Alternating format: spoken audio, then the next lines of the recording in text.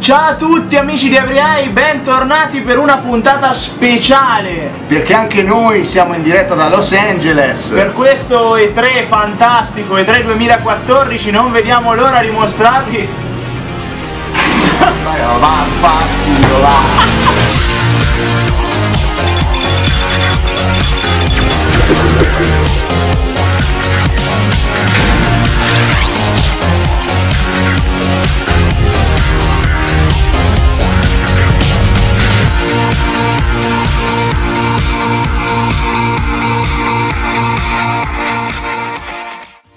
Ciao a tutti amici di Every siamo qui in esclusiva per raccontarvi questo E3 2014 Come potete vedere sono le prime luci dell'alba e siamo ancora in piedi miracolosamente grazie a Solo queste. grazie a queste Chiaramente anche gli occhiali da sole sono funzionali per eh, nascondere le occhiaie. Ma non possiamo nascondere la nostra infinita gioia per le tre che si è appena concluso Per la prima giornata, la giornata delle conferenze Siamo infatti molto soddisfatti per come è andata sinora, questo è soltanto il primo di una miniserie di video che ci accompagneranno lungo tutto il corso delle tre e che includeranno delle nostre opinioni, dei nostri pareri. ma soprattutto la nostra personale classifica di quelli che sono secondo noi i 20 momenti più belli delle tre, o almeno del primo giorno, e includeranno anche le nostre reazioni e le nostre opinioni. che sono basate esclusivamente sul nostro gusto personale e che non vogliono rappresentare alcun tipo di valutazione oggettiva, soprattutto quelle del Todd. Ma basta chiacchiere, partiamo subito con la classifica.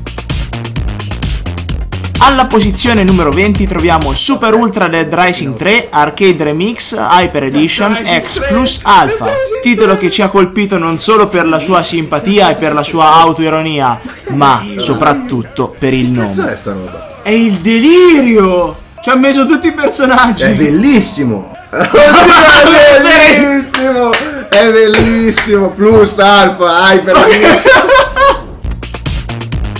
Alla posizione numero 19 troviamo The Crew, un gioco di corse automobilistiche audace, forse l'unico in grado di dare una scossa al genere. dei colpi, eh, appunto utilizzando le macchine. E è un gioco che paradossalmente ha una componente altamente RPG perché esistono le classi di macchine e in base alle classi noi abbiamo un ruolo nei colpi, quindi mm, un gioco molto diverso da quelli a cui siamo abituati e per di Ah, più io- free roaming con il cost to cost, quindi una mappa enorme, smisurata, guarda. Alla posizione numero 18 troviamo Little Big Planet 3. Il motivo è presto detto, basta guardare le nostre facce. Cosa? Ma, Ma che spettacolo! Guarda, ti giuro, mi sono sempre chiesto quando ho giocato al 2, ma come, come puoi migliorare una grafica del genere? E è fighissimo. È fatto sempre meglio sto Sì, gioco, sì, non sì. si sa come perché già Non- il primo c'ha una grafica che è tutto Ti giuro, io, cioè io non riuscivo ad immaginare un- visivamente qualcosa di meglio e più accattivante di questo, ci sono riusciti. Alla grande. Complimenti anche stavolta. Bellissimo. Alla posizione numero 17 troviamo Batman Arkham Knight, perché Rocksteady Studios è da sempre sinonimo di qualità e noi vogliamo credere che questo capitolo non sarà da meno. Forse hardware eh, hanno tirato fuori di più. Tu dici? Mm. Io non sono così convinto. eh. Per la prima volta le strade di Gotham sono percorribili quindi io immagino ci siano anche delle persone in giro. Mo che diventa? Carro armato? Il bat carro armato? Oh. Batcarro. No! Dei nemici su autobini, quindi cioè, tu ci fai proprio le battaglie con la Sì. Batmobile. Alla posizione numero 16 troviamo Assassin's Creed Unity. Finalmente siamo tornati in Europa. La Francia rivoluzionaria è sicuramente il setting migliore dai tempi di Ezio Auditore. Sembra proprio che noi saremo i fautori di questa rivoluzione francese, aiuteremo nell'ombra il popolo a ribellarsi. Ho come l'impressione che il tuo personaggio sia più agile. Eh, bellissimo. Bah! Bellissimo. Guarda come hanno fatto il controluce. Guarda la luce che entra dalle finestre. Ah, bellissimo, gli hanno tagliato la testa. Alla posizione numero 15 troviamo Rise of the Tomb Raider. Il primo capitolo di questo reboot è stato sicuramente uno dei migliori giochi del 2013. Dal sequel non ci aspettiamo nulla di meno. Tomb Raider! Tomb Raider. Non c'è sto crede! Eh, Cioè, noi quando ci stanno sti giochi noi non diremo niente, saremo paralizzati. Spero anche voi. Raider. Abbracciamo. Alla posizione numero 14 troviamo Dead Island 2. Abbiamo amato il primo capitolo e questo trailer ci fa ben sperare per il suo successore. Bellissimo state. Guarda le limousine dietro. Questo sembra quasi in Dead Rising, ma voglio dire, non penso che Mischiato sia con Dead Island. Cioè, non... Oddio, quanto fa ride poi! Resident Evil 7. Ci rimarremo tutti Se fanno. Resident Evil 7 così, guarda, comincio a seguire la serie di nuovo. Sì!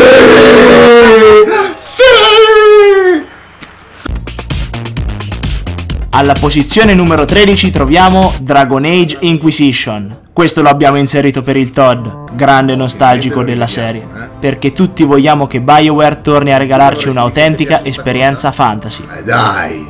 Notevole la colonna sonora, eh? Ci stanno anche le bestie fantastiche. I conigli. I conigli. Chissà com'è l'interazione tra personaggi, perché è molto molto veloce, quindi gestire quattro personaggi con sto ritmo...